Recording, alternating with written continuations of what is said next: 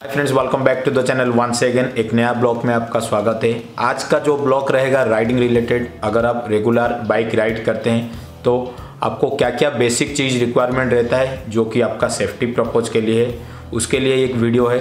अगर आप regular ride करते हैं one city to another city या आप हाईवे में रेगुलर राइड करते हैं, जो कि बेसिक रिक्वायरमेंट रहता है, जो कि सेफ्टी प्रपोज के लिए है, जो राइडिंग गियर रहता है, मैं खुद यूज़ करता हूँ। सो मैं आपको डिटेल्स आज बताऊँगा कि कौन सा कौन सा राइड गियर मैं यूज़ करता हूँ जो कि सेफ्टी के लिए अच्छा रहेगा। एक्चुअली मैं सात आठ साल से राइड कर रहा हूँ मतलब लॉन्ग राइड कर रहा हूँ 200, 300, 400 kilometre out of station out of city या हाईवे में लेकिन मैं प्रॉपरली कुछ राइडिंग गियर यूज़ नहीं करता था जो कि मुझे दो बार वैसे नॉर्मली इंजरी हुआ था एक बार मेरा फ्रैक्चर हुआ था। और दूसरी बार ऐसे ही स्लिप कर गया था। सो so, उसके बाद एक साल से मैं रेगुलर अभी राइड कर रहा हूँ जो कि ब्लॉगिंग कर रहा हूँ। उसके बाद से मैं राइडिंग गियर कुछ परचेस किया हूँ जो कि बजट में है और सबसे बड़ा चीज़ है सेफ्टी और सेफ्टी प्रपोज के लिए ये मैं परचेज़ किया हूँ जो कि मेरा राइड के टाइम अगर कुछ वैसा गाड़ी स्लिप हो गया छोटा मोटा ऐसे एक्सीडेंट हो गया तो वो मुझे बॉडी को पूरा प्रोटेक्ट करता है। सो चलिए मैं डिटेल्स बता दूँगा कौन सा कौन सा राइडिंग गियर मैं यूज़ करता हूँ, उसका कॉस्ट कितना है। अभी मैं जो बेसिक राइडिंग गियर यूज़ करता हूँ, मैं अभी डिटेल्स पूरा दिखा देता हूँ और उसके बाद एक एक करके मैं उसका जो क्वालिटी है बताऊँगा और उसका रेट कितना है डिटेल्स बताऊँगा। जैसे कि आप लोग देख सकते हैं राइडिंग जैकेट और ये नी गार्ड एल्बो गार्ड और इसके बाद हेलमेट और ये राइडिंग शूज़ जिसका कि मैं वीडियो ऑलरेडी पहले बना चुका हूँ और ये राइडिंग ग्लोव्स और भी दो तीन वेराइटी का ग्लोव्स में कभी कभी यूज़ करता हूँ। सो so, पहले सबसे मेन चीज़ होता है जो कि इम्पोर्टेंट सबसे ज़्यादा है राइड के टाइम आपका ज़रूरत होता है वो है हेलमेट जो कि आपका ज़िंदगी को सेफ्टी देता है। अगर आप प्रॉपरली एक अच्छा हेलमेट अगर पहनते हैं तो आपको वो पूरी तरह से प्रोटेक्ट करता है। सो so, मैं जो हेलमेट यूज़ करता हूँ टी का।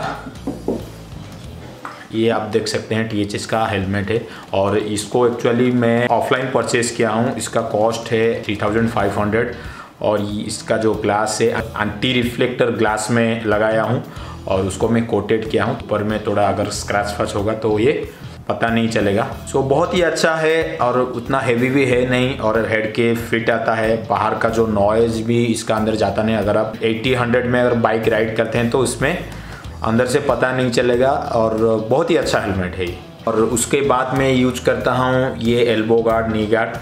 और जैसे कि आप देख सकते हैं। एक्चुअली एल्बो गार्ड में रेगुलर यूज़ नहीं करता हूँ, क्योंकि जब राइडिंग जैकेट पहनता हूँ, उसका प्रोटेक्ट के लिए ऑलरेडी एल्बो गार्ड है।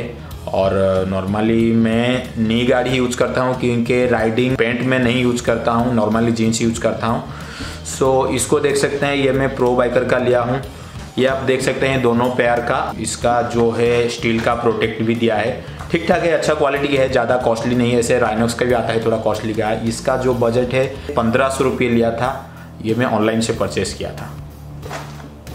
और इसके साथ ये जो ग्लोव्स भी दिया था शायद ये कॉम्बो पैक था 1500 में एग्जैक्टली याद नहीं है, बहुत दिन हो गया एक साल से ऊपर हो गया।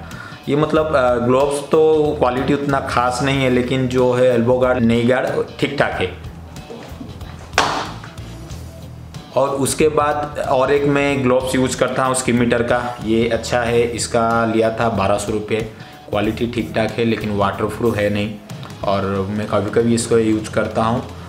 अगर आप ऐसे बाइक में जाते हैं बाइक स्लिप होता है तो तीन चीज़ सबसे ज़्यादा इंजरी होता है, जैसे कि आपका नी हो गया, उसके बाद एल्बो हो गया, उसके बाद आपका फिंगर्स एरिया वो भी थोड़ा इंजरी होता है। मेरा भी हुआ था एक बार, जो मैं, एक बार मेरा जो गाड़ी स्लिप हुआ था। सबसे बड़ा चीज़ है, आप नी को प्रोटेक्ट करेंगे एल्बो हेलमेट और ये हैंड जैसे आपका फिंगर हो गया। और मैं और एक जो है राइडिंग ग्लोव्स यूज़ करता हूँ बीबीजी का, ये मैं परचेस किया था गया तीन चार महीना, दो तीन बार यूज़ किया हूँ। ये थोड़ा लॉन्ग है और ये पूरा हैंड प्रोटेक्ट देता है और इसका क्वालिटी बहुत अच्छा है वाटरप्रूफ है। इसका कॉस्ट लिया था चार हज़ार पाँच सौ रुपया पेयर बहुत ही अच्छा क्वालिटी है। जगह, अगर मैं लॉन्ग ड्राइव के लिए जाता हूँ तो ये वाला यूज़ करता हूँ। अगर शॉर्ट राइड के लिए जाता हूँ तो ये मैं छोटा वाला यूज़ करता हूँ। और उसके बाद हो गया राइडिंग शू और मैं यूज़ करता हूँ ओराजो का, जो कि स्टार्टिंग मॉडल है राइडिंग शूज़ का। और भी बहुत वैसे कॉस्टली आता है, सात हज़ार, आठ हज़ार, दस हज़ार। बहुत कंपनी का आता है, लेकिन इसका बजट फ्रेंडली है। इसको आप थ्री थाउज़ेंड सेवन हंड्रेड में परचेस कर सकते हैं। ये हाफ़ है और एक फुल भी आता है। और इसको मैं चार पाँच बार यूज़ किया हूँ और क्वालिटी ठीक ठाक है। और इसका रिलेटेड और एक मेरा वीडियो है, आप आई बटन में जाके देख सकते हैं। और इसके बाद जो है फाइनल मेरा राइडिंग जैकेट आप देख सकते हैं। ये इसकी मीटर का है और राइडिंग जैकेट जो भी मार्केट में मिलता है मिनिमम जो स्टार्टिंग रेट है फाइव ट्रिपल नाइन मतलब छः हज़ार से स्टार्टिंग है, जो कि बीबीजी का है राइनक्स का है स्कीमीटर का, बहुत सारा कंपनी आता है। सो ठीक ठाक है, इसका लेवल टू प्रोटेक्शन है, जिसमें आप एल्बो प्रोटेक्शन है और बैक साइड प्रोटेक्शन है और उसके बाद दो है शोल्डर प्रोटेक्शन है, अगर आप ऐसे गाड़ी से स्लिप करते हैं तो ये तीनों चीज़ जो है मैक्सिमम आपका इंजरी होने का चांसेस रहता है इसको आप प्रोटेक्ट कर सकते हैं। तो रेगुलर आप कहीं भी लॉन्ग ड्राइव पे जाइए 100-200 किलोमीटर जाइए तो एटलीस्ट राइडिंग जैकेट और हेलमेट दो सबसे इंपॉर्टेंट चीज़ें दोनों आप पहन के जाइए मैक्सिमम आप इंजरी से बच सकते हैं। सो so, जो बेसिक रिक्वायरमेंट रहता है riding related riding gear related मैं डिटेल सब दिखा दिया हूँ और ऐसे भी एक दो चीज़ रहता है मैं यूज़ करता नहीं हूँ राइडिंग पेंट रहता है लेकिन मैं यूज़ करता नहीं हूँ। जो बेसिक रिक्वायरमेंट रहता है बस यही। सो so फ्रेंड्स मेरा जो टोटल बजट आया जितना भी राइडिंग गियर में यूज़ करता हूँ अप्रोक्सीमेटली ट्वेंटी थाउज़ेंड सो इससे भी आप थोड़ा कम बजट में टोटल ओवरऑली पंद्रह हज़ार के आसपास होने से आपका पूरा कम्प्लीटली राइडिंग गियर आ सकता है। सो so, आज का ब्लॉग में बस इतना ही। नया ब्लॉग मेरा एक लॉन्ग राइड होने वाला है। अप्रोक्सीमेटली 400-500 किलोमीटर एक सीरीज़ आने वाला है साउथ उड़ीसा का। सो so, उसके लिए थोड़ा प्रिपरेशन चल रहा है। और वो कंफर्म नहीं हुआ है। जब होगा तो मैं अपडेट बता दूँगा। सो so फ्रेंड्स आज का ब्लॉग में बस इतना ही। Bye take care have a nice day